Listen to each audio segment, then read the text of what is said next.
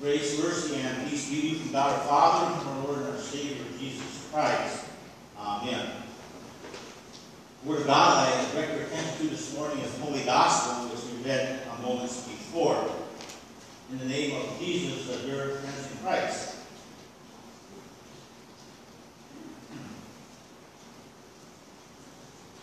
What a beautiful day in the neighborhood. What a beautiful day in the neighborhood. Won't you be, won't you be, won't you be my neighbor? My children grew up on uh, Mr. Rogers' neighborhood. Fred Rogers, uh, who has died now, but uh, had that long-running program, children's program, What a beautiful day in the neighborhood. Won't you be my neighbor? So what do you think of uh, when you think of a neighbor? Uh, does it bring pleasant thoughts to your mind if you've been blessed by the Lord to have good neighbors?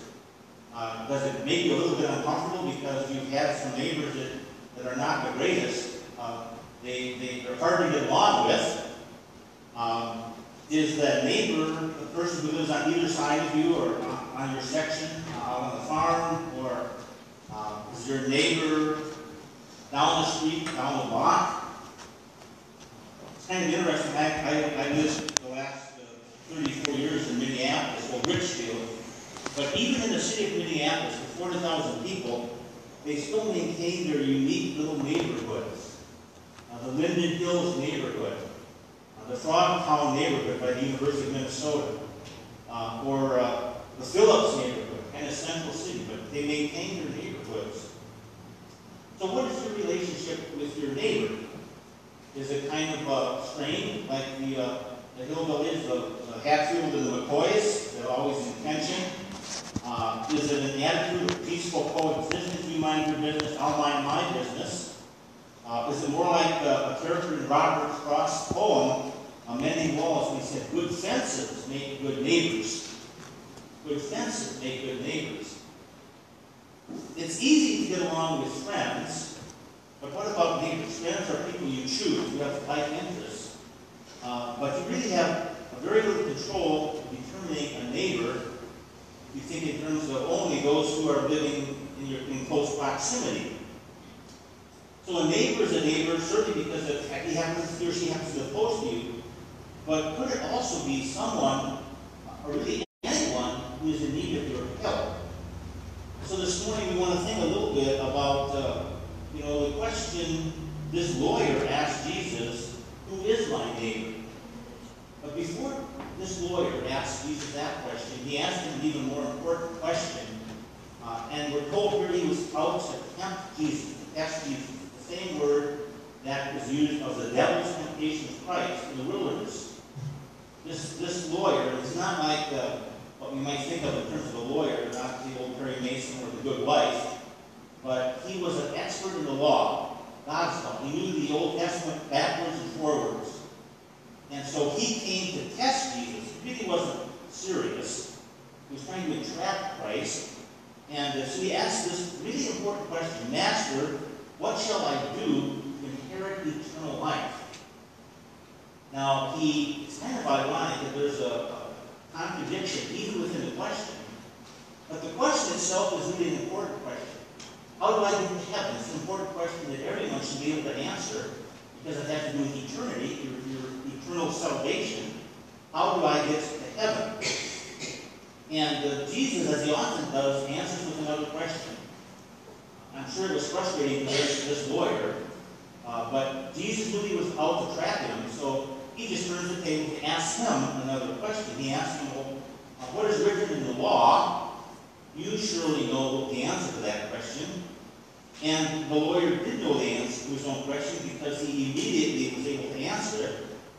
And if he didn't know how to answer this question, uh, he wouldn't have been much of an expert in the law. He was playing games with Jesus. But it is an important question to ask. Uh, what must I do to inherit eternal life? How do I get to heaven? Uh, and basically, there's only two ways, isn't there? Uh, you're either hoping uh, you're going to get to heaven uh, by keeping God's law perfectly, by the good things you do, that you do enough of them so that God's going to be pleased with you, and, and then uh, when that judgment day comes, He's going to take you to heaven because uh, you did enough good things. That's, that's one approach.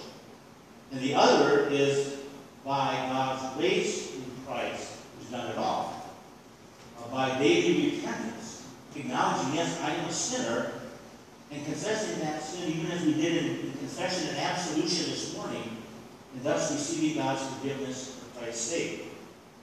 I find it kind of interesting that uh, when you get right down to it, there are only two religions in the world.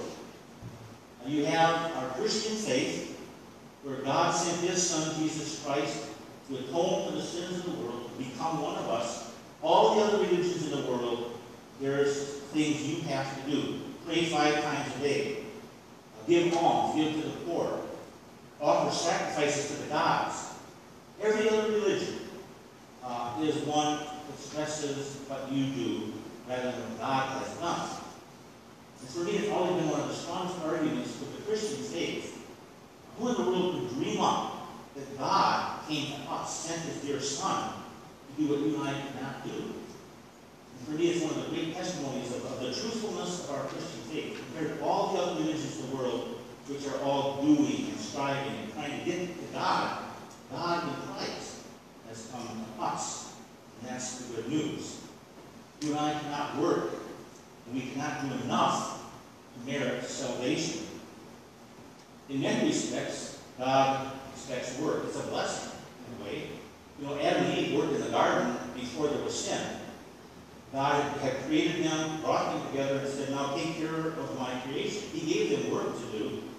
Sin brought curse. Work became a pain. Uh, childbearing now with pain.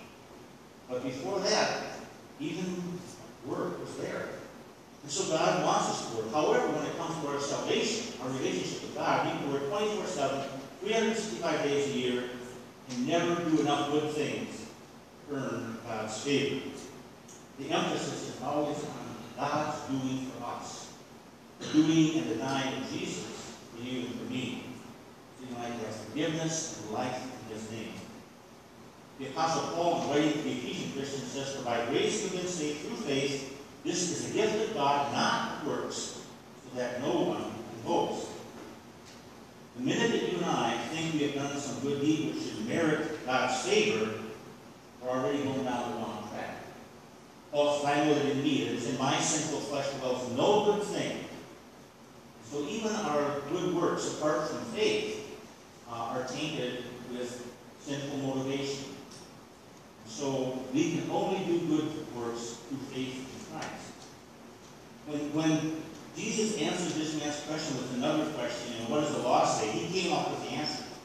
You shall love the Lord your God with all your heart, and with all your soul, with all your mind, with all your strength, and then love your neighbor as yourself. And then this lawyer immediately asked, well, well who is my neighbor? Trying to distract Jesus to go down a different road. And so Jesus then tells us this wonderful little uh, parable uh, of the Good Samaritan. It's known so well this man, this man fell on the robbers. He was beaten, left half dead. You know, the, the priest walks by on the other side. The Levite, one of the workers in the temple, walks by. Maybe they thought that the robber was still in the vicinity. They, were, they had things to do at the temple. They had to be on the move. Whatever the reason, they, they ignored this, this half-beaten, left for dead man. Until this lowly Samaritan comes walking by, a hated, despised half-breed, and he is the one that stops, puts balm on the wounds, bandages up this man, puts him upon his donkey, takes him to the inn, says, take care of him till he heals. And whatever it costs, I'll pay you when I come back. And then Jesus asked the question, uh, who is neighbor to this man? And the lawyer said, yes, the one who showed mercy. And then Jesus said, go and do likewise. Go and do likewise. When you think of this, this story, neighbor then is not the person who lives next to you or on either side of you. Uh, your neighbor is not only that person that's on your block that you, you know pretty well, but rather the question is not uh, uh, who is my neighbor, but rather to whom can I be a neighbor? Jesus, that's what Jesus is getting at. So, your neighbor is anyone who needs encouragement, who needs a word of comfort, who needs a hug, uh, who needs some uplifting. And so your neighbor all really could be your wife. It could be a son or daughter. Uh, it could be very, close to home, and most often does because those are the people you come into contact with. Uh, your neighbor could be someone you never saw before, but in your course of travels, you come across someone who, who is hurting, you can bring a word of encouragement, a word from God even, for that neighbor. The pretty tall order, what Jesus said to this, uh, this lawyer, you know, go and do likewise, because he knew he had not, he could not show that kind of mercy. He realized that Jesus was convicting him for failing to be a neighbor. And I think all of us also, when we hear those words, go and do likewise, recognize those times when we've really not been a neighbor to those in need. We haven't been there with the word of encouragement. Maybe we can help beat him down a little more. So we have to confess our failure. But thanks be to God, I believe in this parable, really the ultimate Good Samaritan is Jesus himself. In fact, Jesus experienced both the situation of, of the man that was robbed, who was beaten, and also that of the Good Samaritan, the man who helped. As the prophet said, the prophet Isaiah said that, that Jesus was bruised for our iniquities, you know, was his chastisement we were healed, his scourging, you and I have been made whole. He himself was beaten and bruised as he bore our sin. But then he is also the ultimate good Samaritan because he has come to us. He's come to us laying by the side of the road with guilty conscience, uh, with our failures in life, battered and bruised by our sin.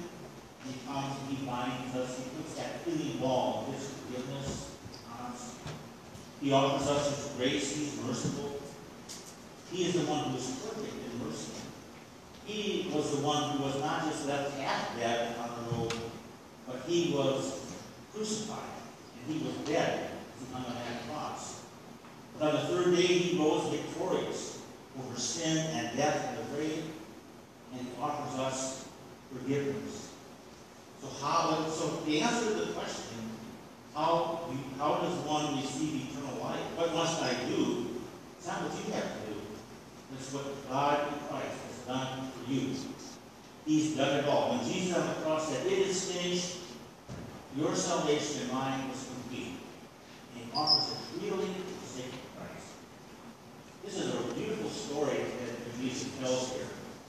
Yes, he convicts us of our sin, our failures, but most importantly, assures us that we have the ultimate good spirit, the one who offers us his peace, his forgiveness, and yes, eternal life itself. And now, as his children, and he says, go and do likewise. Through the power of Christ, you and I can begin to love our neighbor, to love our neighbor, the one who has need. May God in Christ enable us through his strength to be a good neighbor to those who need us. In Jesus' name. And now may that peace of God which surpasses all of our human understanding keep your hearts and your minds in Christ Jesus